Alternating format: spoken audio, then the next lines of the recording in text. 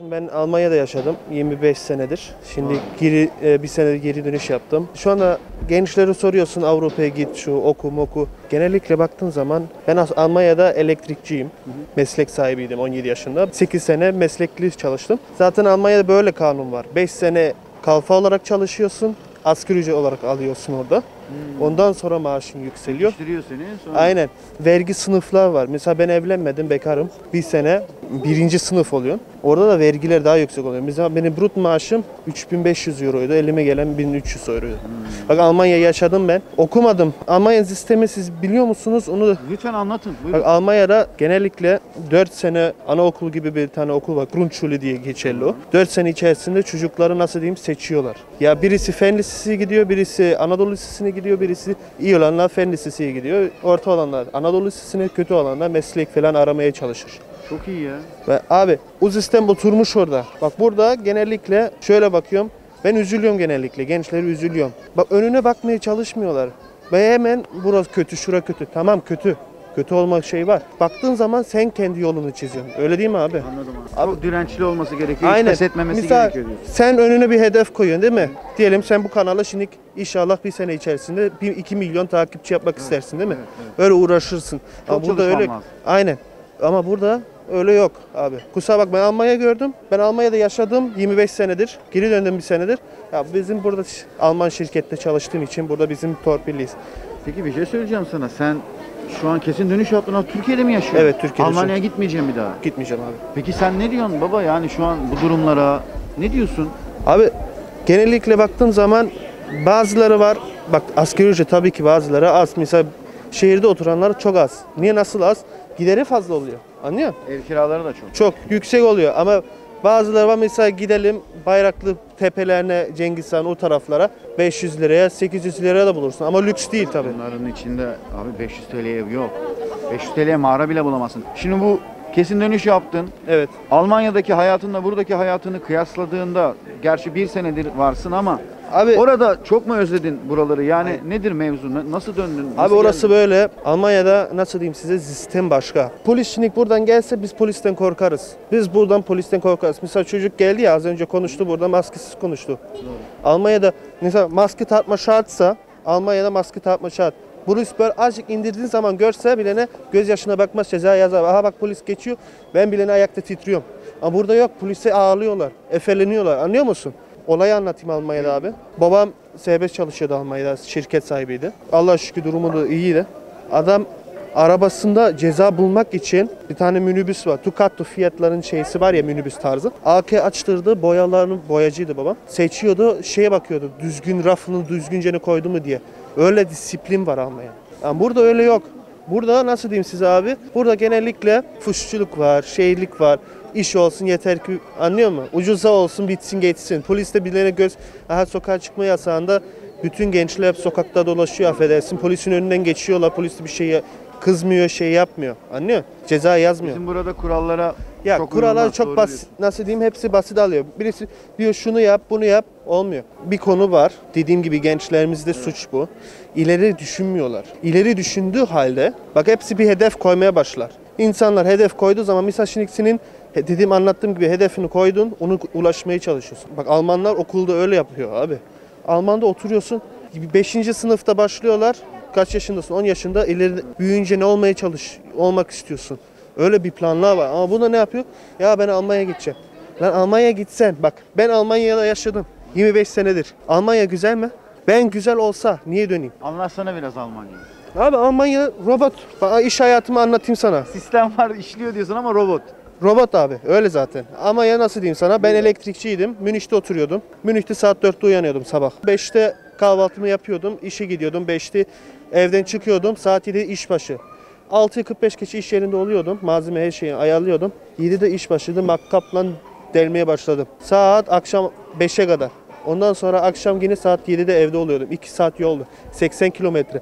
Belki duym- duyanlar seyircilere Freising diye bir yer var. Münih'ten 55 kilometre, 60 kilometre. İzban metro ile gittiğin zaman bir buçuk saat sürüyor.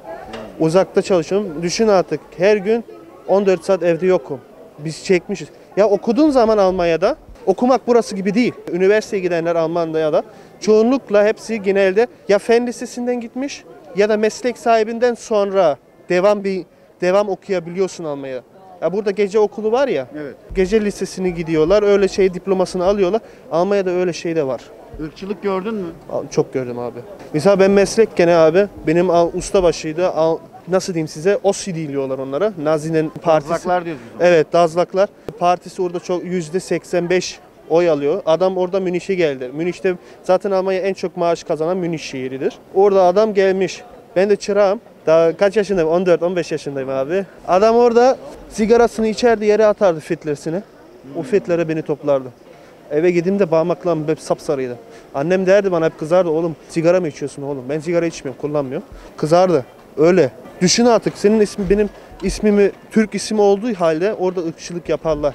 Alman olsam bile ne başka kategoriyi koyuyorlar. E, yükseltiyorlar. Nasıl diyeyim iş yerini başka yere koyuyorlar. Misal evler, camiler, camileri yaktılar.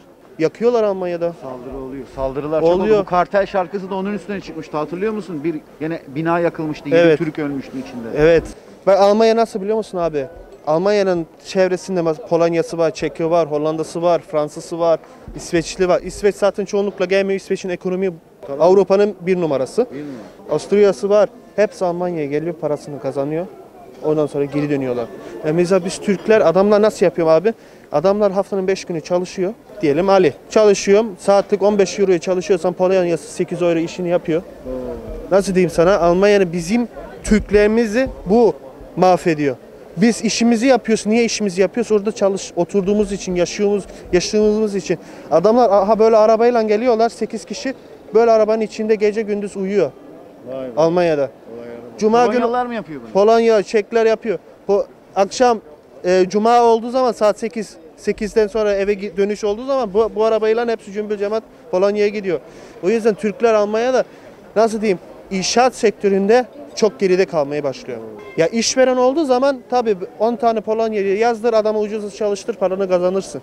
Ama kendi işçi olarak benim gibi bak mesela 1 artı 1 dairede oturuyordum Almanya'da 1200 euro abi. Münih'in dışında 40 kilometre dışında 1200 euro ödüyordum abi. Benim maaşım 1300 1400 euro. Asgari, e, asgari ücret gitti. Ya sen Burada- 25 yıldır oradasın. 1200 1300 euro mu alıyordun? Abi biz ek iş yapıyorduk abi. Biz inşaat sektöründe çalıştığımız için çok inşaat şeylerimiz vardı. Torpil bizim mesela abilerimiz vardı. Hep beni çağırırdı. Gel yap. 800 böyle on, akşam iş bittikten sonra hafta sonları hep oraya gidiyordum. Paramı kazanıyordum abi. Ama diyorsun ki Almanya defteri kapandı. Artık Türkiye'de. Aynen abi. Türkiye'de devam diyorsun. Abi, Burası burası- devam mı? Devam abi. Ya benim için burası nasıl diyeyim sana? Ya biz Almancıyız. Bizim için burada rahat. Türkiye'deki sistemi gördün. Bayağı bir siyasi tartışmalar oluyor burada. Her gün herkes siyaset konuşuyor. Fark etmişsindir. Öyle zaten. Sen baktığında öngörün Sayın Erdoğan değişecek mi bu defa sence? genellikle baktığın zaman Tayyip'e yaptıklarını bakacaksın, ortaya koyacaksın. Tabii ekonomi bazı konularda çok düşük. Yani euro falan. Ama baktığın zaman adam yapıyor kusura bakma demedi. Aya bak otoyol yaptı, şey yaptı, köprüsü yaptı, bunu yaptı. Mesela Almancılar bak benim son meslek okulunda senesinde öğretmenler bak onlar profesör oluyor meslek okulunda. Bana resmen dalga geçiyor. Sen burada ne işin var oğlum diyor bana. Gitsene ülkene diyor. Bak şimdi ben nasıl görüyorum biliyor musun? Yani yollar, köprüler teşekkür ederiz. Yapıldı. Okey. İşte daha önceki de yapsa ya yapmadı. Yapandan Yapandan Allah razı abi. olsun. Şimdi mevzu şu abi. Evet. Sen dedin yani Almanya'da bir sistem var eğitimde. Abi Bir önceden ülkenin bir ülkenin gelişmesi için çocukların eğitimi düzgün alması gerekiyor. Aynen işte öyle. bu çocuklara eğitimi düzgün vermeyen ve bu iğrenç sistemin devamlılığını sağlayan herkes benim gözümde başarısızdır. Aynen öyle İsterse zaten. uzaya yol yapsın. Abi Anladın uz- mı uz-? Öyle zaten. Ama mesela diyelim Dedim, anladın mı? anladım abi tabii anladım. Ama mesela Almanya ne yaptı?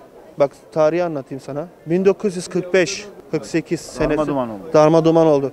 Bak sana söyleyeyim Türkiye'de Kurtuluş Savaşı yaşadık ya. Orada biz de böyle nasıl diyeyim sana biz de savaştık. Çok burada her şey oldu. Rahmetli İnanılmaz fabrikalar açıldı o zaman. Aynen. Açıl burada açıldı ama ne fabrikası abi? Bir düzgün bir araba nasıl diyeyim sana? Almanya bak sana söyleyeyim mi? Almanya yıkık. Kaç milyar borcu var?